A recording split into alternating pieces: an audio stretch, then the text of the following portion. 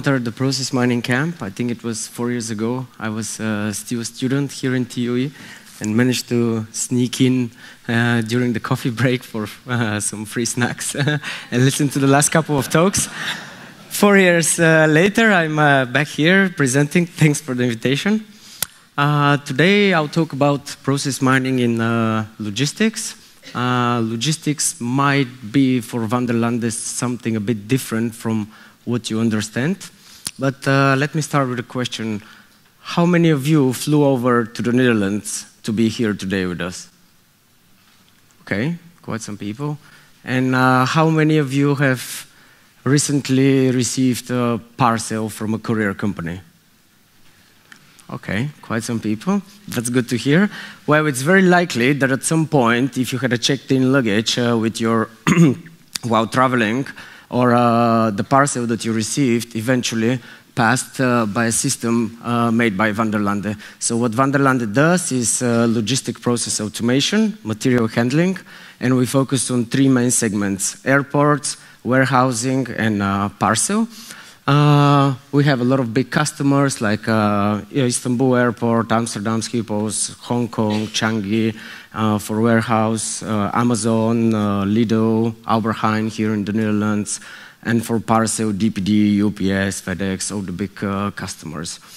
So we focus on those three segments, and today we decided that I will show you two case studies one of them is uh, from a parcel customer, and the second one will be from uh, the airport business. So let's have a look at the standard uh, parcel process. Looks quite uh, simple. Three things, three steps. You receive a parcel at the depot, you sort it, and you ship it to its right destination. If we have a look a bit more in details, uh, we see that the steps are a bit more. So we have uh, the arrival, uh, the unloading, so parcels come in various different ways, loose load or in some special containers. Then they're being put in the system. Uh, they're merged together at some point and uh, they often go on a sorter where they're being sorted based on the scanning result uh, from the barcode read to a specific destination. Destination, you can imagine that it's something like an output, varies per customer, how the system is designed. And then the parcel is picked up, put in a bus, minivan, whatever, and being delivered to you at your door.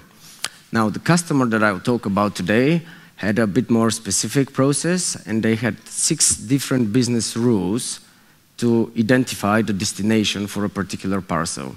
So every night, our system was receiving the so-called master sort plan uh, via data acquisition, and that was the first level. Then we had uh, another level, uh, which was optical character recognition uh, of the barcode, uh, video coding, operator decision, uh, and even postcode sortation.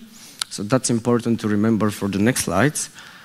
On the next slide, we'll see the, the system of the customer in a nutshell. The red things are the sorters, so we have four different loop sorters, and they're interconnected between each other. And uh, basically, you can enter a parcel from any input, and the parcel can travel all around the system and be sorted in the other, uh, the other side of it. The green uh, part is uh, direct sortation to containers. That's typically done for small parcels like documents, envelopes, uh, then we have the loose load uh, unloading.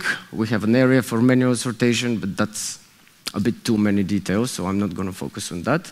Just to remember, it, uh, it's important that we have four different loop sorters.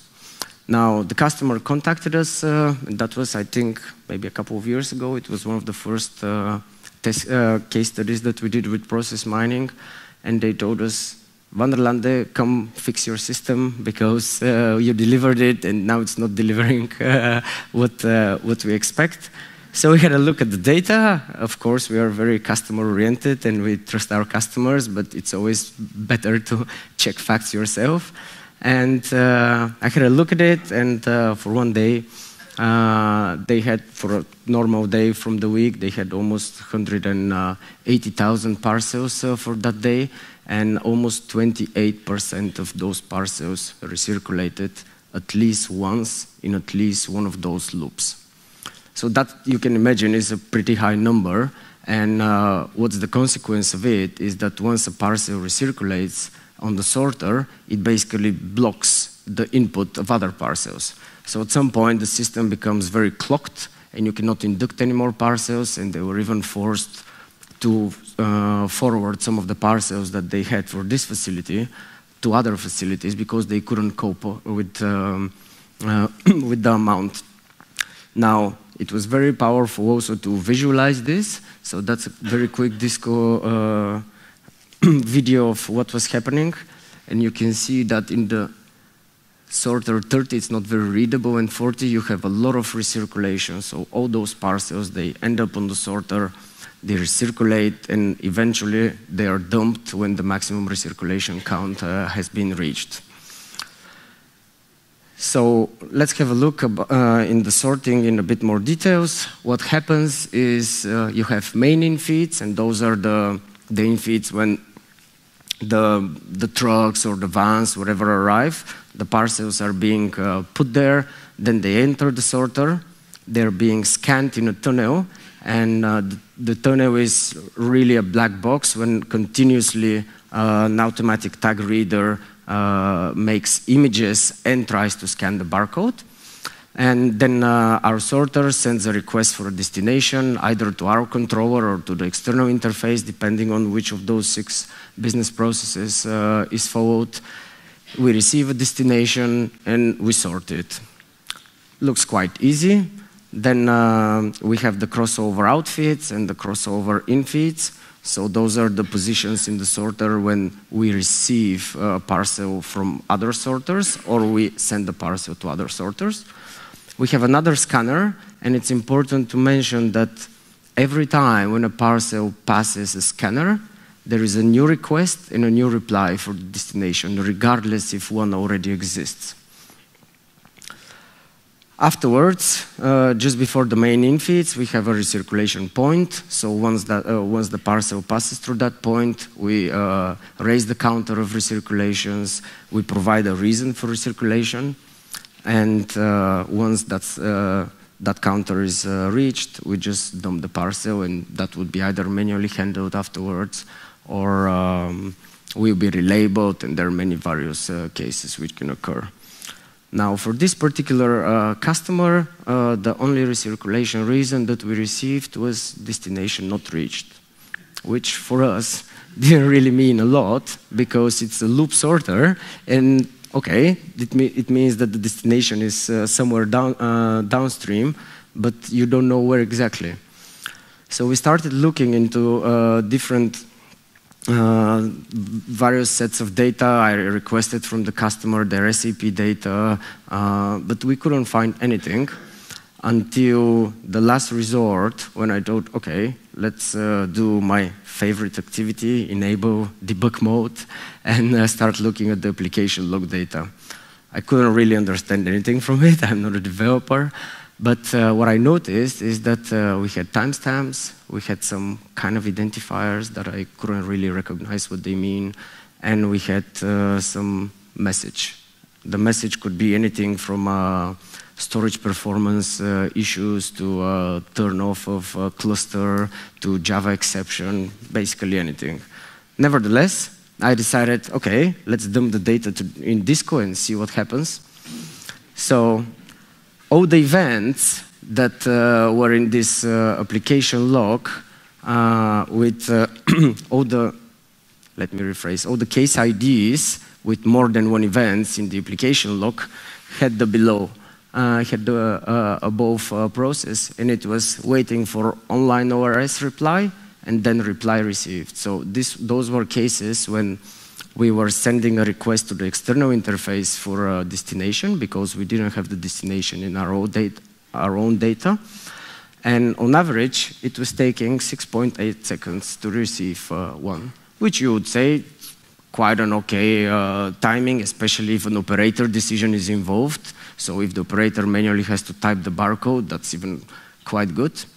But then we went back to the system design just, just to see that after the scanner to the crossover outfeeds, and after the crossover infeeds, the first chutes, on three of the four sorters, the travel time was actually four seconds.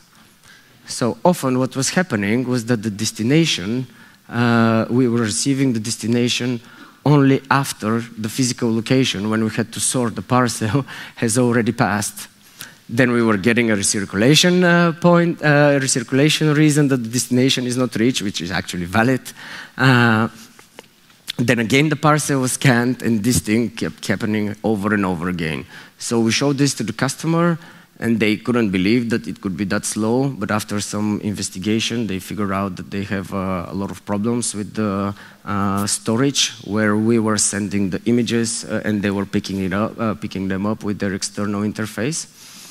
So it was, uh, yeah, a good uh, learning experience, especially for me to to not be biased and try different types of data in this call because I think probably applies for some of you as well. All the time I'm thinking, but do I have the right data? Do I have unique identifier? Do I have this?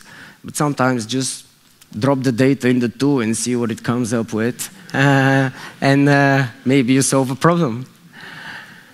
So that was the, the first uh, case uh, that I wanted to show, and that was, yeah, really, I think, one of the first uh, process mining uh, projects within Vanderlande. And yeah, in this slide, uh, I explained that uh, the time is very short. And now about airports, maybe that's a bit more interesting topic for uh, some of you because I don't think that it's, or maybe I'm wrong, that it's so popular what the process is. So what we do as Vanderlande is uh, the whole baggage handling system. So basically, when you go to the airport and you place your uh, suitcase on that conveyor and it goes somewhere uh, in the basement, we do everything construction, installation, project management, low level control software, hard level control, uh, high level controls, everything. So let's have a look at the standard uh, baggage handling process. You go to the airport, you check in your bag, and then the first step that happens, the bag starts traveling, and there is the whole baggage screening process. So that's, uh, that's the part together with identification. So during identification, uh, we try to read the, the barcode on your tag, uh, uh on, on the tag of your bag. And during whole baggage screening process, uh, the bag is analyzed with radiation for explosives.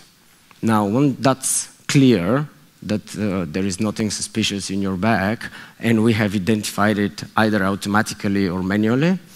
The bag goes to the sorter, and uh, from there the destination is determined and it's sorted to the right location.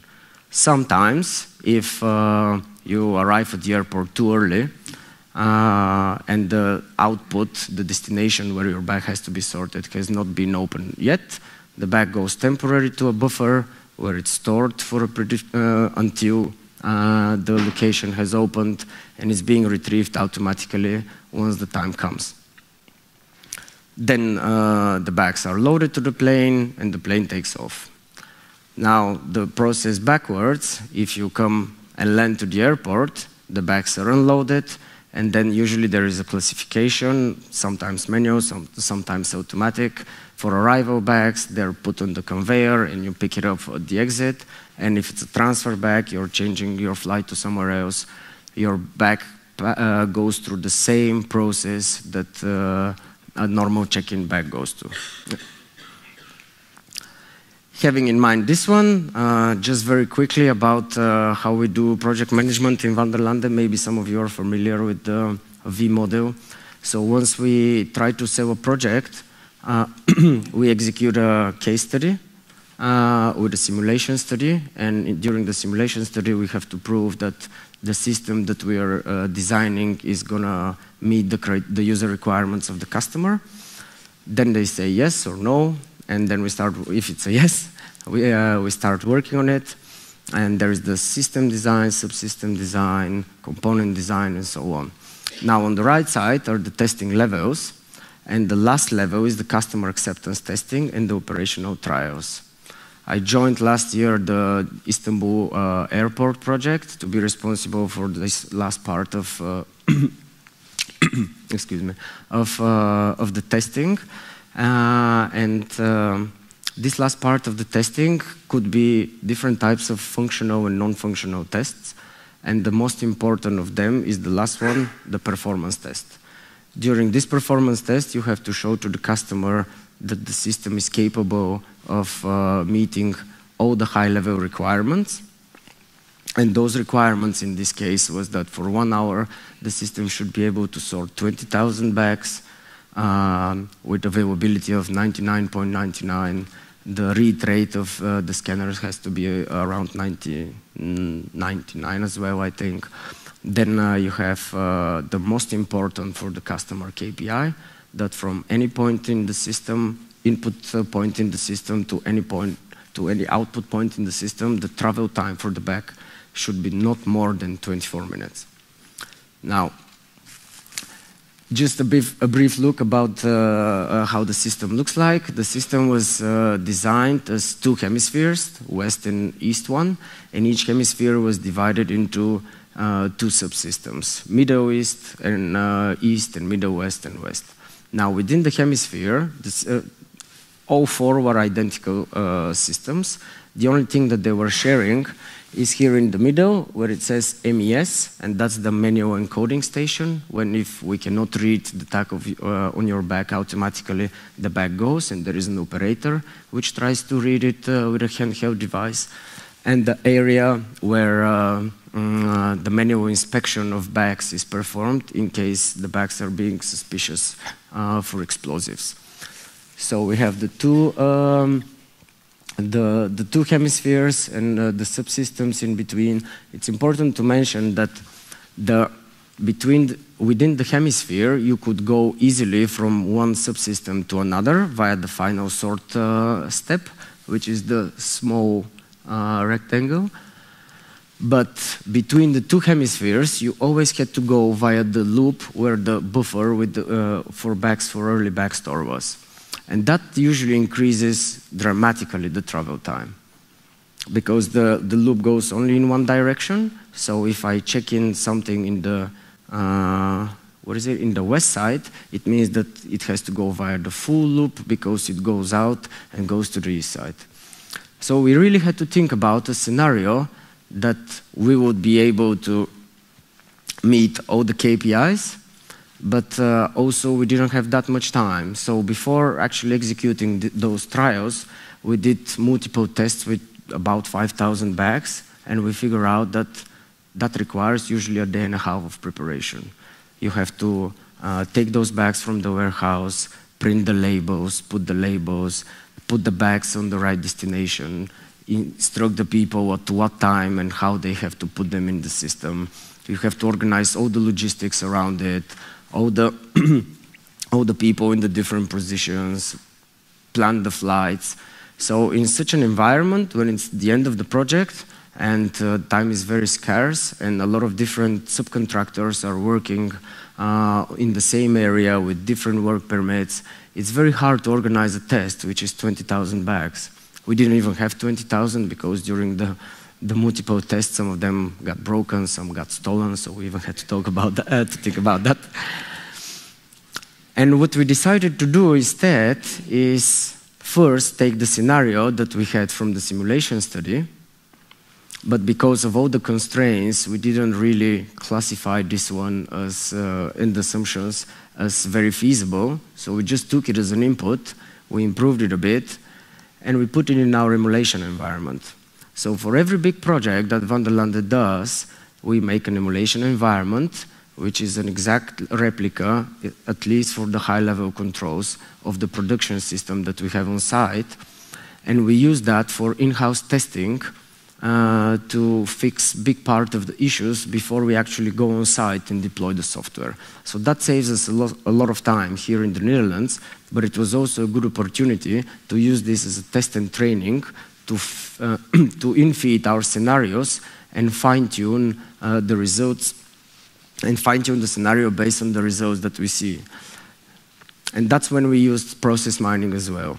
So what we did basically is a big scenario with 20,000 bags, with all the flights, what's the input rate, uh, how often, from where uh, the bags go, what kind of attributes they have, like weight, length, and everything.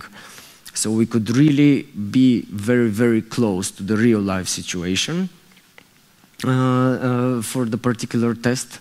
And we could also decide afterwards, when we analyze the data, what portion of it we want to include. So if I was to be interested only in the time between the check-in of the bag and the screening, I could include more events from the different data, uh, data that we have.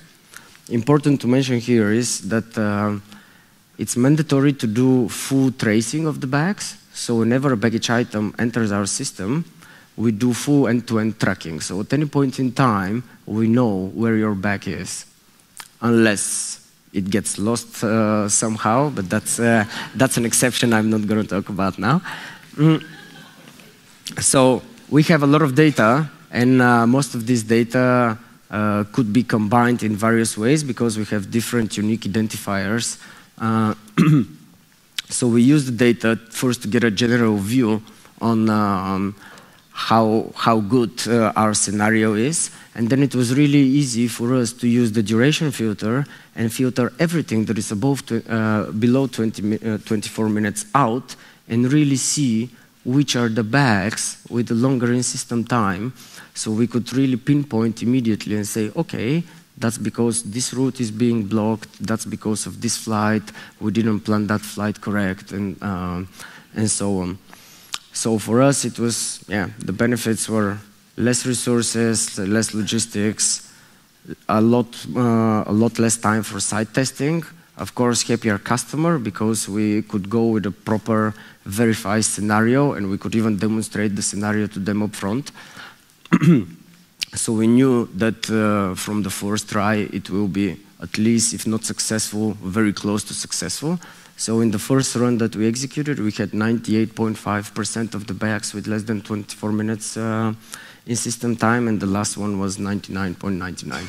That, of course, doesn't guarantee exactly that you will be successful in the real life because things happen, there are failures, and so on. But it was good enough for us to be confident and go to the customer and present this. And then, in addition to this, what we also did afterwards for the operation and maintenance team, we executed different uh, failure scenarios. So in our emulation environment, we could also say, okay, at that point in time, fail this equipment for five minutes, and then you can really observe the dynamics of the system, first in the emulation environment itself, but then also by using the animation in uh, Disco. Because when you look at the emulation, you see so many bags and you don't know which ones are the good ones and which ones are the bad ones. But with the filtering and the variants, it's very easy to really pinpoint, okay, that's the, uh, that's the part of the system that we have to focus in case we have um, certain failures. So that also helped for improving the standard operating procedures for the maintenance team, especially they knew if that piece of equipment fails during peak hour, we have not more than 10 minutes to fix it. Otherwise, we have to take uh, other contingency measures. I think um, that, that's about it. uh. Oder Okay, so you can already think about your, your questions. I have a first question. Yep. Uh, and now this morning we talked about that sometimes for some processes, like especially ERP processes, like what's the, the ID or the, the, the case ID object changes over the time of the process, right? Now, in the physical world, like if we're talking about parcels or bags, that's usually not the case. You have, like, for example, like this one parcel that's moving around. So I'm just curious whether, in all the different types of cross mining analysis that you have done in this space, have you come across different case ID perspectives? Have you played with different, are there even options for, for what you see as the case, or did you come yeah, across? Well, uh, yeah, we have different uh, unique identifiers. So, for example, uh, we could use the, the bag tag, which is on your bag, as a unique identifier. But what about the trace before the bag was identified? Then you need a different unique identifier okay. to be able to trace this object and to connect the, that's your, really your bag to what happened before or maybe the bag gets lost in tracking, then it's re-identified. Yeah. Then you have to use another new identifier, which was generated by the system, to be able to couple this. But uh, to answer the question, I've tried, for example, the, the flight number as a unique identifier. Okay. And that's also interesting in case uh, you you have a bit of a bird view, high-level view. Um, of course, it depends how many of those bags, in this case, were actually identified for this flight, because some of them might be flight coded uh, with a different flight, and there are a lot of exceptions that have to be taken into account. But I think it really depends on what kind of uh, uh, question you want to answer. If you really want a high-level overview, yes, you can use um, the flight number, or you can use even things like the input location as a unique identifier for now, the, the identifier that the system generates turns out to be the best in case you're interested in travel times. Yeah. Okay, thank you. Okay, who has a question for Boris?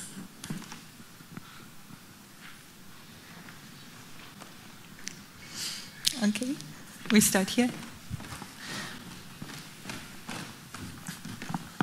I will be loud thinking a little bit. Do you have um, time pressure that you need to deliver this package. So that your system need to, for example, when the airplane comes, mm -hmm. so mm-hmm. this is usually ground handling to the whole process of bring these luggages from the airport, uh, from the airplane to the sorting.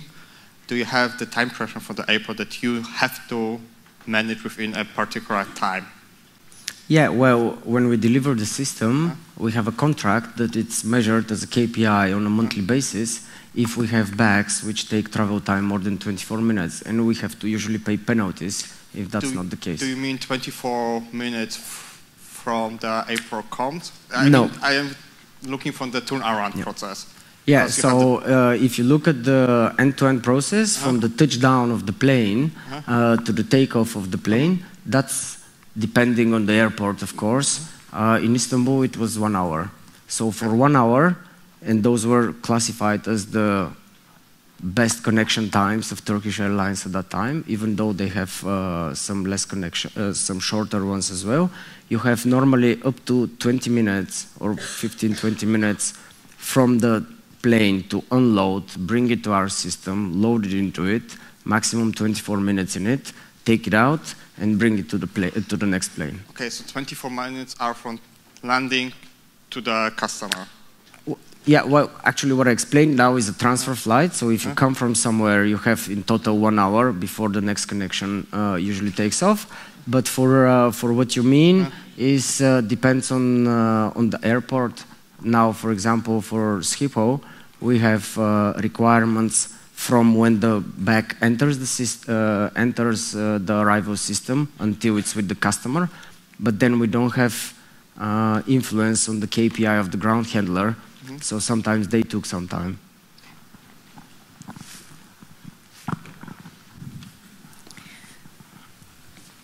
More questions? Over there, yes, please.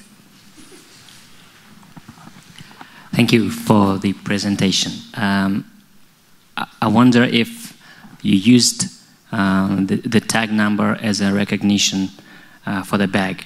And I wonder, uh, and you said in one, at one uh, in your in, in your speech, you said there are different attributes uh, recorded in the system, like length, size, etc.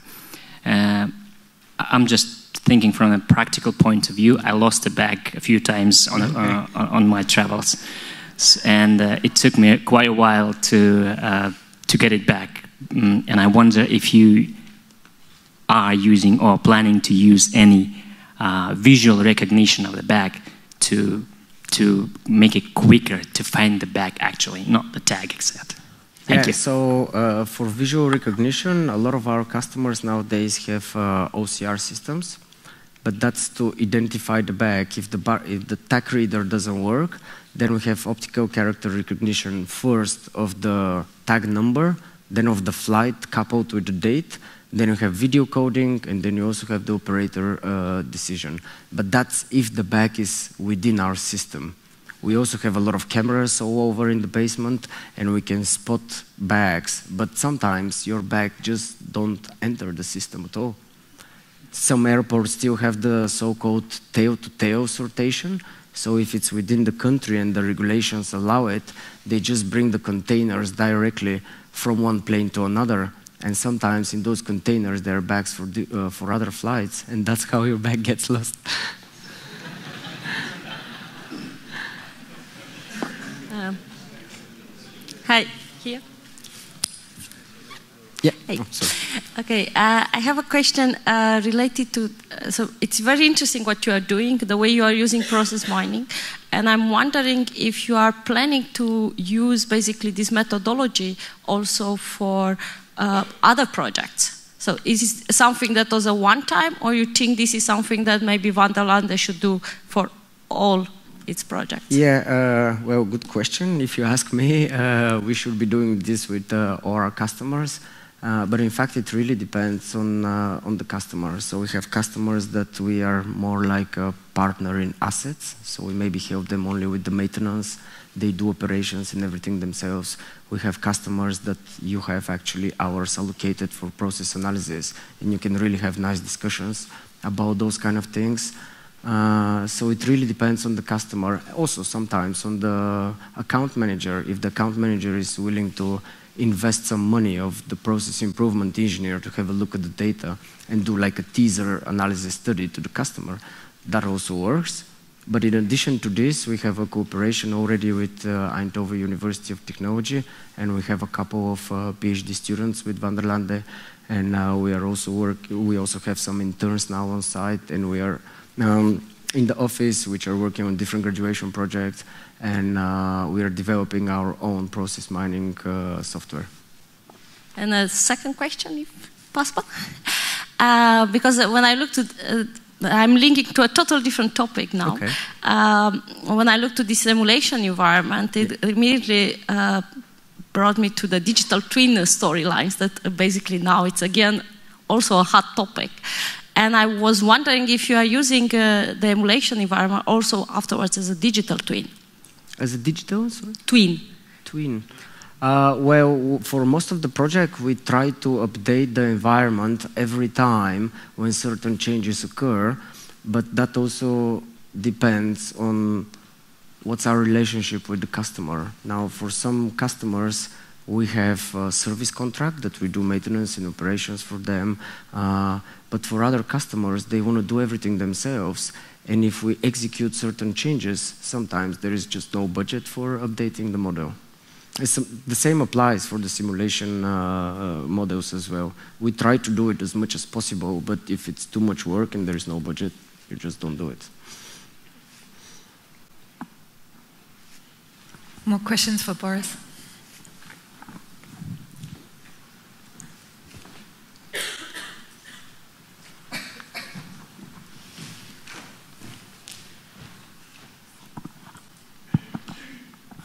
Hi, thank you for your presentation. Um, I wonder, how did you get so knowledgeable about this process? Because before we were talking about black boxes and uh, not talking to people and so on. And is it well, it's from the data or with talking or else?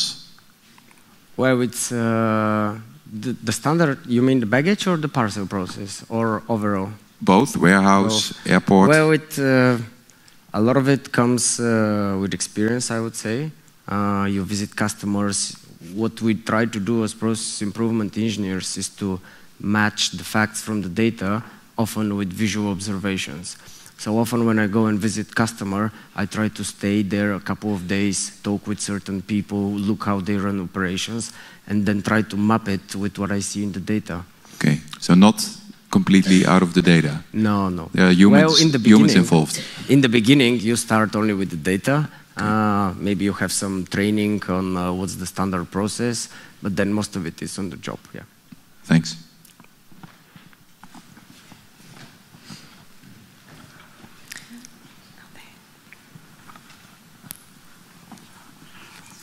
Thank you for a fascinating presentation. Uh, I'll think of you next time uh, my bag's missing. Um, I, was just thinking, Um, when you did the airport simulation and the figures improved from 98 to 99.9%, what did you change to make that improvement? Because I, I would imagine that you're constrained by the design of the um, emulator. Um, Yeah.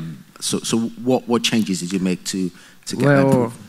We tend to follow the idea that if you put if you input waste, you get uh, waste at the output as well. So we really had to look at the input profile of our bags and how our flights are planned because that really has a big impact. In the system that you saw, we had restrictions that certain part of it is only for domestic flights.